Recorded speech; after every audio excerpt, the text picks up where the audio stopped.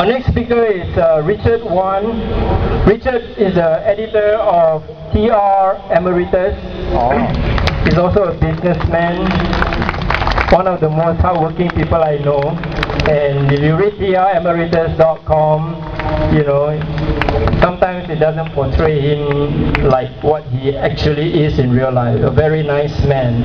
So, round of applause for Richard Wan, please. Thanks, Andrew. Okay, good afternoon, uh, fellow netizens and bloggers. I would like to start by examining what MDA has said with regard to their light touch policy. Now, according to MDA, it said that now, according to MDA, it said that they have been very judicious in issuing takedown notices since the class license scheme came into effect in uh, 1996. It said that uh, since 1996, there has only been one takedown notice for religiously offensive content, that is the uh, innocence of Muslim video, and 23 other instances of mainly pornography-related contents uh, due to public comment, uh, complaints. Now, uh, what this means is this, on the average, then we are talking about less than 1.5 takedown notices per year for the last 17 years. So, therefore, we can conclude two things from this uh, little observation. Number one, uh, we can observe that the Singapore blogging community is generally very discerning and law-abiding. So I think give yourself a. Now, so that being the case, why the need for MDA to come up with more rules and regulations? Now, the second observation is this.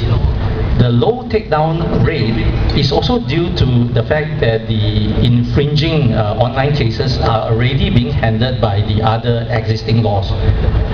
Existing laws already address some of the online infringement because some of the past offenders were prosecuted under the other laws.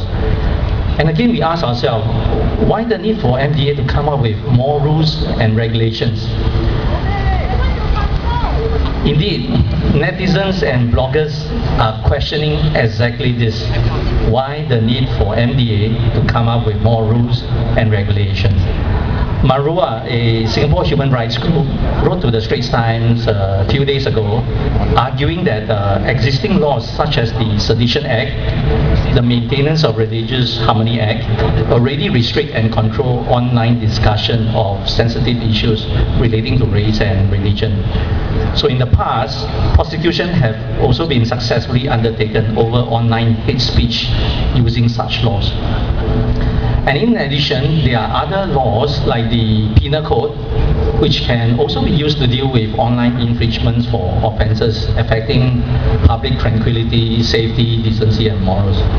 And the Penal Code also deals with words or writings with deliberate intent to wound the religious or racial feelings of anyone, or to intimidate or insult anyone. So as you can see, there's a whole bunch of uh, rules and regulations already there, and they are interlocking, you know, supporting one another. So when there's an online infringement, it's really up to the uh, Attorney General, AGC, to decide which law to use against you. Then there's the uh, Telecommunication Act to deal with uh, rumor mongering causing undue alarm to the public.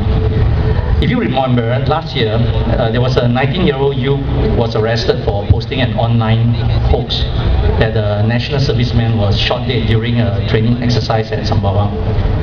Uh, the 19-year-old youth was arrested for transmitting a false or fabricated message under the Telecommunication Act. So when asked why we why the need to impose an additional layer of MDA regulation, given that there are already so many existing laws dealing with online infringement, uh, this is what our uh, Dr. Yaacob said. He is, by the way, the Minister for Communication and Information. So he said, an individual license places a stronger onus on the individual licensee operating that website to be aware of its legal obligations and to report responsibly. He added, going by the reaction of some of these uh, internet content providers, it would appear that all of them are, not all of them are fully aware of the content standards in the class license. Otherwise, why would they argue that they will be censored? So Dr. Yaacob seems to be saying that the new M- MDA regulations are enacted so as to make the licensed websites more aware of their legal obligation. Now I find this to be a very weak argument because everyone knows that ignorance of the law is no excuse.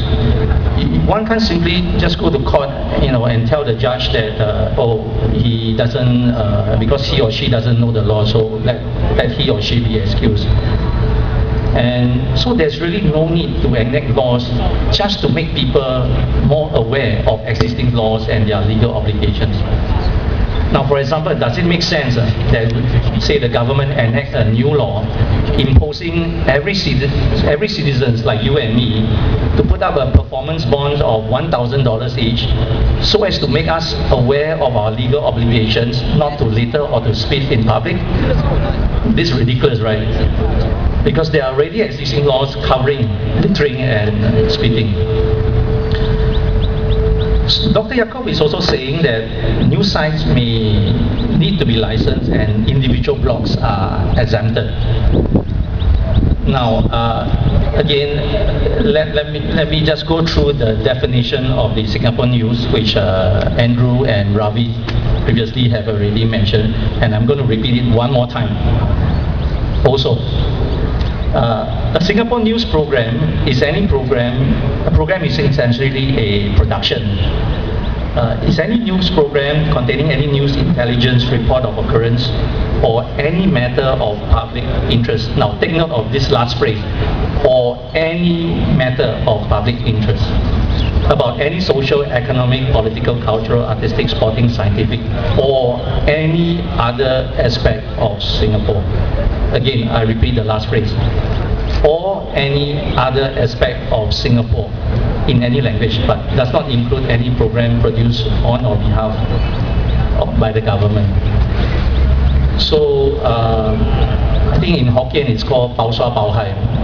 Everything is everything and anything that's under the sun about Singapore is considered Singapore news by that definition. With the exception that the news comes from government, then it's not counted. Lah. So, you know, why use such a broad definition? And make no mistake, this is written in black and white.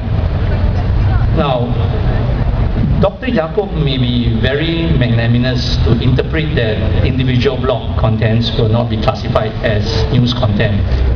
But what if a new minister comes on board who is not as uh, magnanimous as uh, Dr. Yaacob and decide that the individual contents can also be considered news by virtue of the written definition which I've just cited above? Uh, the other thing is with regard to the new regulation, which is which a licensed website need to comply within 20 hours, within 24 hours of take down notice from MDA. If, it, if the MDA finds that the content to be in breach of uh, content standard under the class license scheme. Now, I just want to highlight this little hidden clause inside one of the class license uh, scheme documents. And that clause said, Uh, and that's in fact it's called clause 4. A licensee who is in doubt as to whether any content would be considered prohibited may refer such content to the authority to the authority for its decision. So, in other words, the authority has the final say whether a website considered website content is considered prohibited or not. So given all the above reasons, how can the authority blame the netizens and bloggers for questioning the intent of the authority for the sudden introduction of the new MDA regulations? Indeed, many netizens remain unconvinced of the need for the new regulations. And during the Talking Point talk show uh, a few days ago, it was 73% poll say that the new regulation will limit online content. Many on the ground are feeling that this sudden introduction of uh, new regulation is politically motivated to curtail criticism against the government. And uh, we all know that online criticisms against the government have been increasing, especially since the last general election in 2011. The government must understand that people criticize because they are unhappy with the many policies of the government. They have no other outlets to vent or to criticize except through the internet. This is especially so in the current climate, uh, media climate of Singapore. So we are currently like a kettle of boiling water with steam coming out from the spout. Now the last thing you want to do is to take a stopper and stick it onto the spout of the kettle so as to block the steam from coming out. Now if you don't want the kettle of boiling water gener generating that much steam, the correct way to do it is to lower the fire that is causing the water to boil. In other words, reverse those unpopular policy and you will get fewer grievances and less criticism online from the people. I therefore call upon the authorities to remove the new MDA regulation which are clearly not compatible with the first world standard. Thanks. Thank you, Richard. um, the government actually has uh, replied for all the criticisms and the questions that we have. And here's one of the uh, Yaacob Ibrahim himself. After we all criticize him, right, he said, ah yeah, you all make so much noise. Okay? I think the best way for is for people to see after the licenses are issued whether the activists are indeed limited in their public discourse. I expect that the sites will continue to operate as before. In fact, I hope that the activists who are today making this far-fetched claim will be honest enough to admit it when the time comes. This is what Yaacob Ibrahim says. Briefly, what he is saying is, trust me. This one, in fact, the, report, the, the news reported this, right, that the MDA will enforce the regulations judiciously. This is what they say. Trust me, I'm not going to, you know, uh, regulate everyone. But here's the problem, you see. Freedom of speech in Singapore is a guarantee under the Constitution. As citizens of Singapore, we have the right to free speech. Right? But what Yaacob Ibrahim is saying is you know what? I come up with regulation, but it's okay. Trust me. Trust me, you know, to enforce it or not. Just say the right thing. That's nonsense. Okay? It's like saying, you know what? We plan for 6.9 million, but we are not really going to do it. Right? 6.9 million people, but you know, it's only a working parameters. No. I think when you want to infringe on the citizen's constitutional right guaranteed under the law, I'm sorry, but you have to do better than that. Our next speaker is a social analyst. He writes this blog called The Heart Truth. H-E-A-R-T, not the other one, okay? The other one is written by somebody else. Roy, uh, Roy Nerng is a social analyst and a blogger. He writes really, really well. And if you go to his blog, you will see all kinds of statistics and charts and stuff, but don't be frightened. He, he explains them very clearly. You want to know about CPF, population, you know, education, whatever, go to his blog and you will see what the mainstream media don't tell you. Here's Roy Nerng.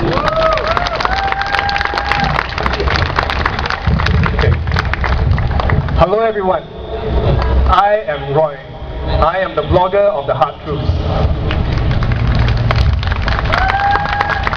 I am honored and humbled to be here today to be a voice among Singaporeans to speak up against the MDA licensing rules.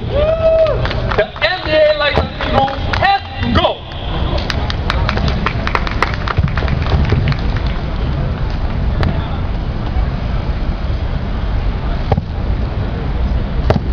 For more, for more than 40 years, Singaporeans couldn't protest in Singapore. And in the past, if you speak up, what will happen to you? You will be arrested, you will be jailed, you will be thrown into prison, you will be sued, and you will be made bankrupt. This year is the first time in Singapore's history since our independence that we are able to come here in the thousands to speak up and to voice out for what is right for us. Great job, Singaporeans. And we must continue to do this.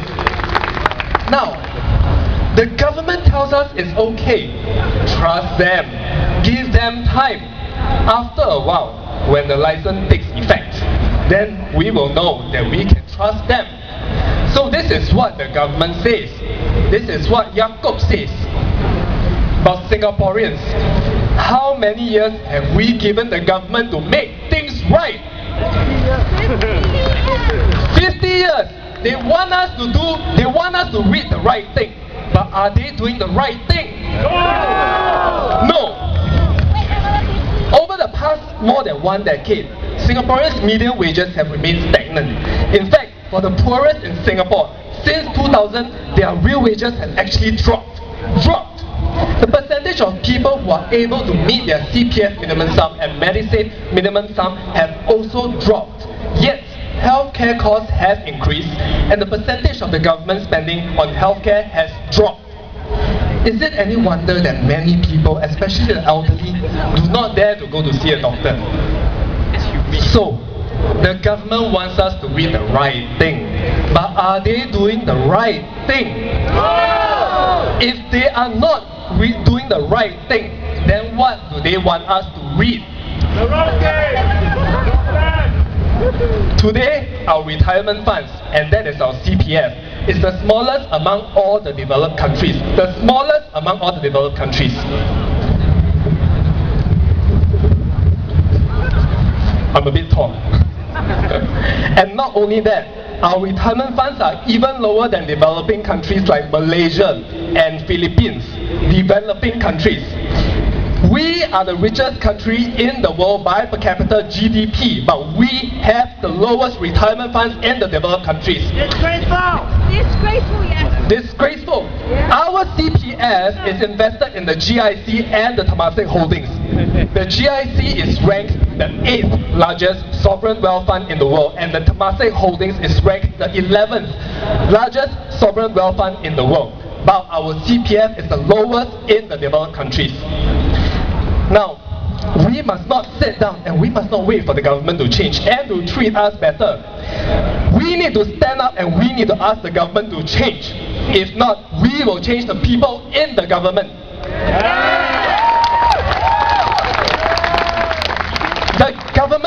I repeat, the government cannot expect to tell the people to sit down and listen to the right thing when there is no right thing. When there's nothing right about how there are more and more elderly who have to work in our hawker centers to be cleaners and be paid very low wages. My question to you is this Are you willing to work long hours every day and get paid only a few hundred dollars in Singapore? Are you willing? Of course, our government ministers won't understand this. Because why? Because they are paid millions of dollars. Will they know how hard it is to be poor? The government tells us that the elderly want to stay active. They want a hobby. And so the government says we should encourage them to work. But do you know that in 2005, when the government conducted a survey, 62% of the elderly said that they needed to work because they need the money. This is up from 39% in 1995. That's 10 years, 20% increase in 1995. Now, after 8 years, is there another 20% increase? Are there 80% of the elderly who want to work because they do not have enough money? So the government tell us that the elderly wants to work. Many of our elderly are in blue collar industry. Many of our elderly are lowly paid. Now, if the government wants us to read the right thing, will you know all this if we read their right thing? Because they're not right. Well, Singaporeans are suffering and we cannot just read their writing because we won't know what is going on. If there was no one to speak up for the elderly, who will speak up for them? In this new rule, the government wants to tell us to take down our articles within 24 hours. Think about it. If you're not happy with something someone has said, would you tell the person to shut up? Or would you want the person to talk to you to find out why? So why does the government doesn't want to talk to us? Why does the government want us to keep quiet? We have no answer. Government says online news sites need to be licensed. But which are these sites? Obviously the government already know which these sites are because they are monitoring them. So why not let everyone know which these sites are? Let us all know which these sites are. Let us all know how many unique visitors there are. Let us know if we agree with you.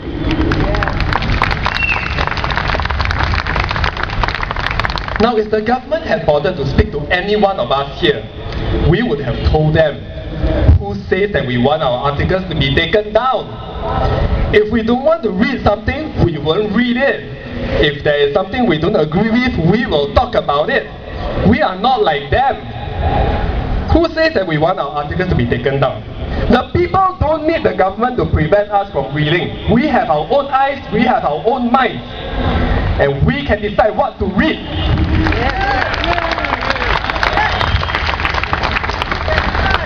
So if this is the case, who is the government really wanting to protect?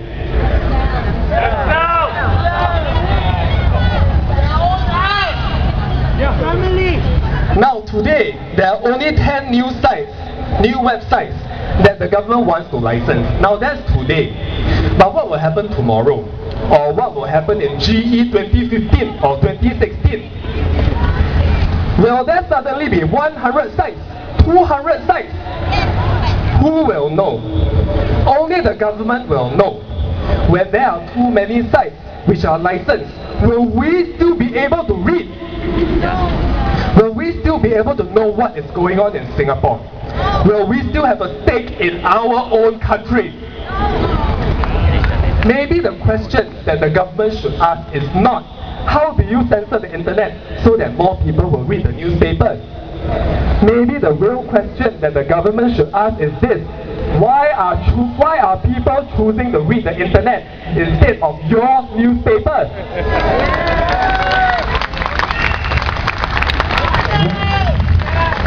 What is wrong with their newspapers?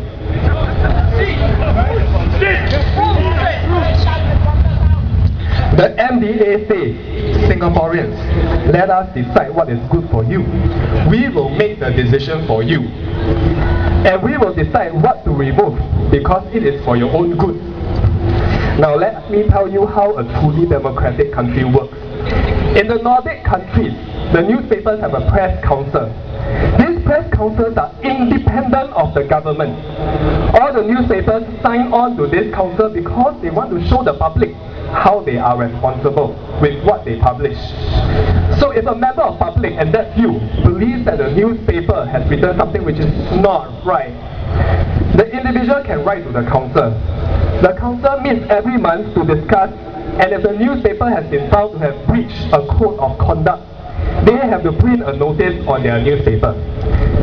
So, you see, in a country where everyone has their rights, in a country that is truly democratic, and not just, it is not just some people. Every person in the country, an individual like you and I, gets hurt. We all get to speak out, not just the MDA. Now, many countries have adopted press councils, but in Singapore, why does the government want to censor instead of let people consult with one another? In Singapore, the MDA expects Singaporeans to listen to them. The MDA believes they know everything. Should this be the way, Singaporeans?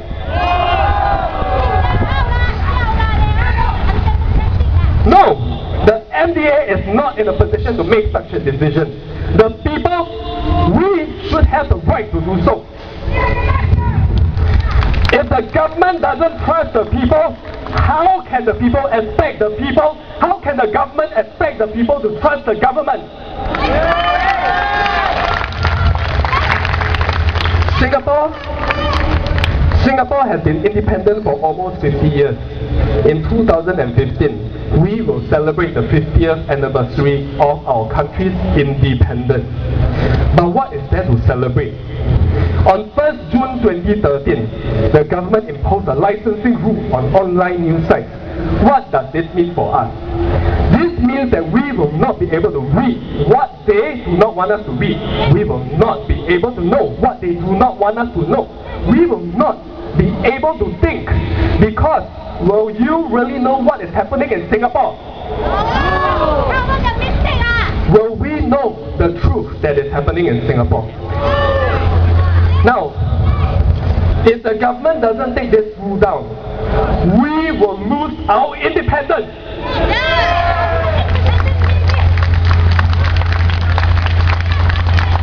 We will lose our independence to read, to know, to think, and to be who we are.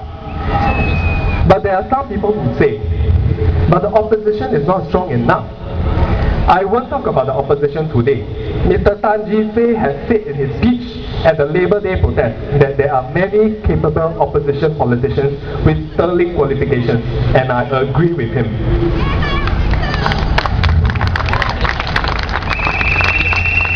But my question to you is this.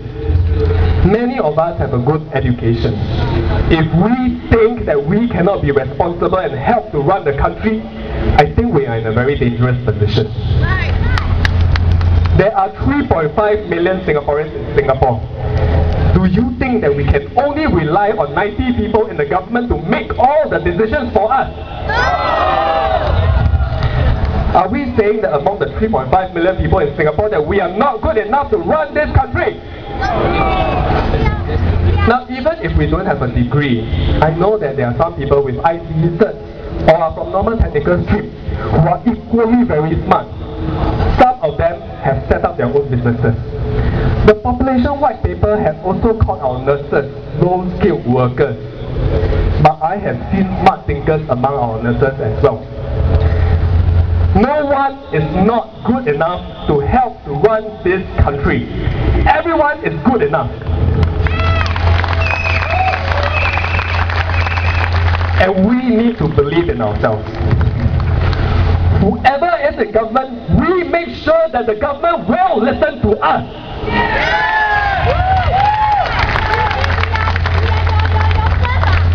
Now the government should be asking us, is this what you want?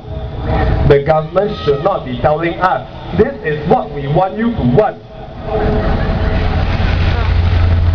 So whoever is put into government, we must make sure that we also help to provide solutions and run this country.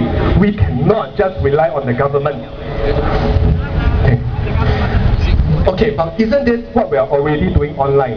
Many of us are writing articles and many of us are commenting on blogs, forums, Facebook to provide solutions to run this country. Which is why it is so important that we need to protect the freedom of our internet.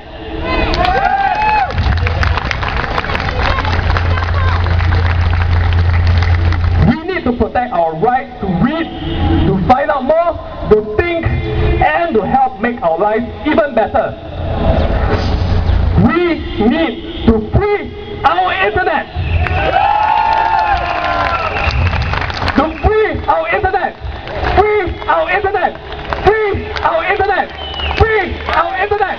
Free our internet. Free our internet. And this is why it is so important that we have to speak up and stand up against the licensing rule. The licensing rule has to go. Our right to know and think has to be protected. We must protect our own independence. Thank you.